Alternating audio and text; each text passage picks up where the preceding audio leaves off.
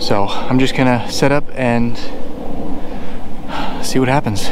Now it's time to be patient.